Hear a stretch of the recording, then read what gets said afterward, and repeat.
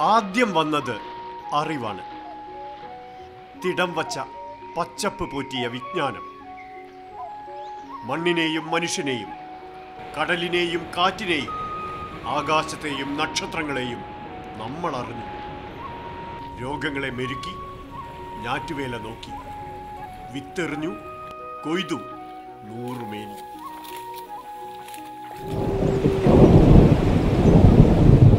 അന്നേരം പടിഞ്ഞാറൻ കടൽ കണ്ടു. വായ്ക്കപ്പലുകളുടെ കൊടിമരങ്ങൾ. പറങ്കികളും ലന്തക്കാരും ഫ്രഞ്ചുകാരും വെള്ളക്കാരുമൊക്കെ. പല വ്യഞ്ജനങ്ങൾക്കൊപ്പം സ്വരവ്യഞ്ജനങ്ങളും കീഴടക്കപ്പെട്ടു.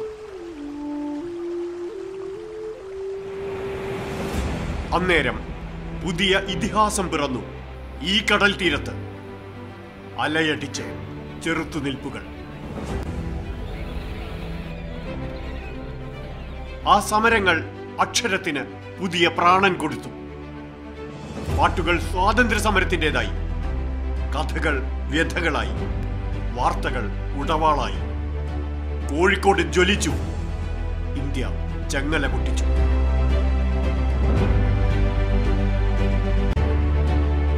ഉണ്മ എന്താണ് എന്ന് മനസ്സിലാക്കാൻ മനുഷ്യനെ സഹായിക്കുന്നതാണ് ജ്ഞാനം എന്നത് ഇംഗ്ലീഷിൽ അതിന് നോളജ് എന്ന് നമ്മൾ പലപ്പോഴും പറയും. അപ്പോൾ അതുപോലെ ഒരു ജനറൽ നോളേജിൽ പറയുന്ന വാക്കുകളല്ല ഉണ്മയുള്ള അറിവ്. ആ അറിവ് അന്വേഷിക്കാനുള്ള മനുഷ്യന്റെ ത്വരയാണ് വാസ്തവത്തിൽ മനുഷ്യ സമൂഹത്തിന്റെ എല്ലാ വികസനത്തിനും കാരണമായത്.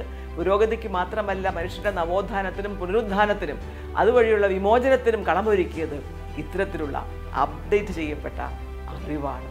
ആ അറിവിലേക്കുള്ള വലിയൊരു ജാലകമാണ് സാഹിത്യ നഗരം എന്ന ഈ ഒരു പദവി ലഭിക്കുമ്പോൾ കോഴിക്കോടിന് കൈവന്നിരിക്കുന്നത് എന്ന് പ്രത്യേകം പറയേണ്ടിയിരിക്കുന്നു.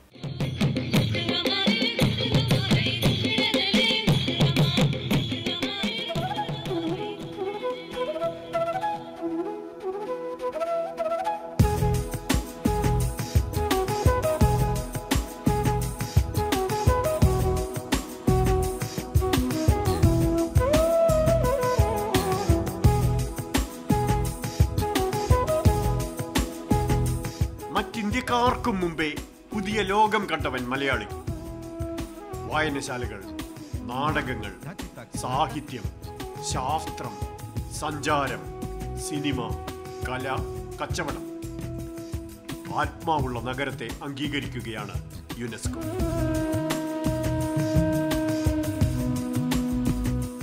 ഏതാണ്ട് രണ്ട് രണ്ടര വർഷത്തോളം നീണ്ടുനിന്ന കൂട്ടായ ഒരു പരിശ്രമത്തിന്റെ ഫലമായാണ് കോഴിക്കോട് നഗരത്തിന് ഈ അംഗീകാരം കിട്ടിയിട്ടുള്ളത്.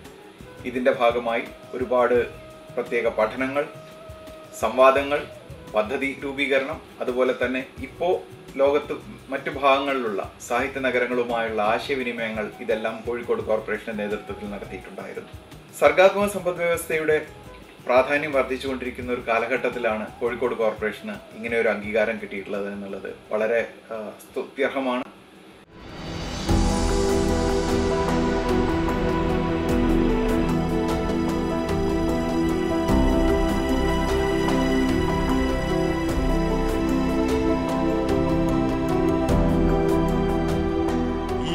തിരകളെ മുറിച്ചു കടക്കാൻ ചെറുതോണി ഇറക്കിയവരെ. മാനത്തെ മറികടന്ന ആകാശയാത്രികരെ. ഈ മണ്ണിനെ മാറത്തണിഞ്ഞവരെ. ഇതാ വരുന്നു ലോകം നമ്മളിലേക്ക്. നമ്മുടെ അറിവും വികസിക്കുകയാണ്. നമ്മുടെ അറിവിനും വിലയേറുകയാണ്. മനുഷ്യനെ തൊടുന്നതെല്ലാം സാഹിത്യമാണ് സംഗീതമാണ് കലയാണ്.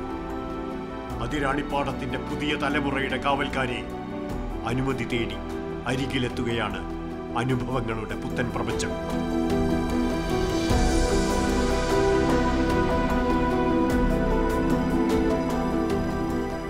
ഇനി തിരയടിക്കുന്നത് യുനെസ്കോയുടെ സാഹിത്യ നഗരത്തിന്റെ തീരത്താണ്.